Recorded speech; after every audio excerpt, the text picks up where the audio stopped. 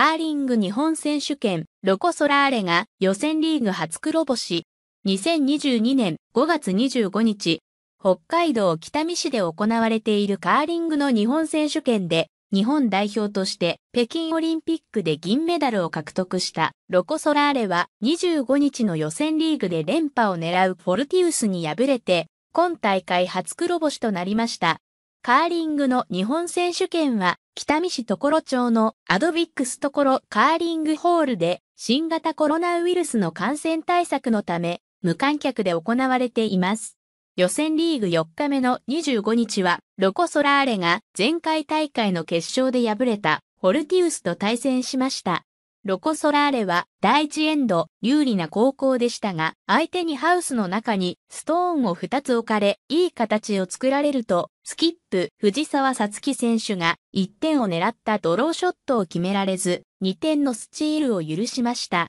その後、互いに1点ずつを取って1対3で迎えた第4エンドは、ホルティウスのスキップ、吉村さや高選手にラストショットをハウスの中心付近に寄せられ、1点をスチールされました。ロコ・ソラーレは続く第5エンドもスチールを許し、4点差を追いかける第6エンド、藤沢選手が複数得点を狙って難しいショットを選択しますが、決められず1点を奪うにとどまりました。第8エンドには高校で2点を奪い4対6と追い上げますが、その後は得点を加えられず、ロコ・ソラーレが4対10で敗れ、今大会初黒星で予選リーグの通算成績は4勝1敗となりました。藤沢選手は私のミスで前半から追う展開にしてしまい、チャンスもあったが決めきることができなかった。負けた試合の方が学ぶことが多いので、次の試合にしっかり活かしていきたいと話していました。